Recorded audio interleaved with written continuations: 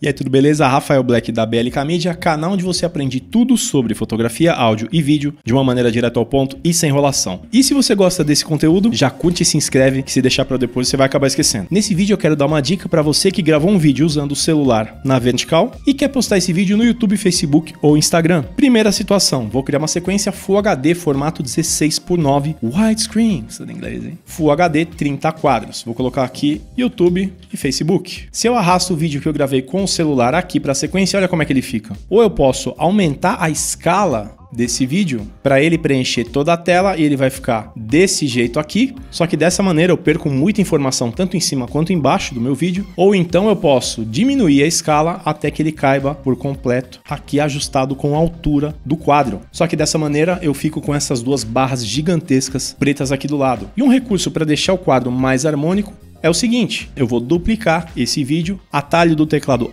Alt, eu vou clicar no vídeo e arrastar para cima, e agora com o de baixo selecionado eu vou aumentar a escala dele até preencher todas as bordas, posso até realinhar dessa maneira aqui, venho aqui nos efeitos, digito Blur e arrasto aqui o Gaussian Blur para esse clipe, e aqui eu aumento o desfoque, clico nessa opção Repeat Edge Pixels para ele preencher essas laterais aqui, e esse aqui é o resultado que eu tenho tirando aquelas barras pretas gigantes gigantescas na lateral do vídeo. Outra coisa que eu posso fazer é diminuir a opacidade do vídeo que está embaixo. Então aqui em opacidade, em vez de 100%, eu deixo 50%, por exemplo. Outra opção que você pode usar é fazer uma imagem personalizada, como eu fiz aqui da BLK.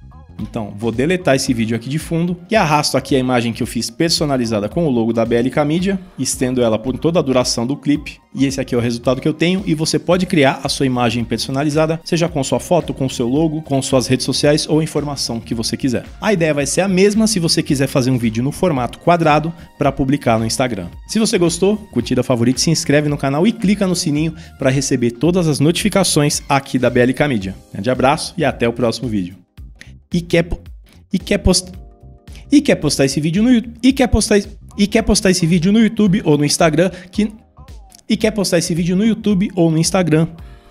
Não. E quer postar e quer postar esse e quer postar esse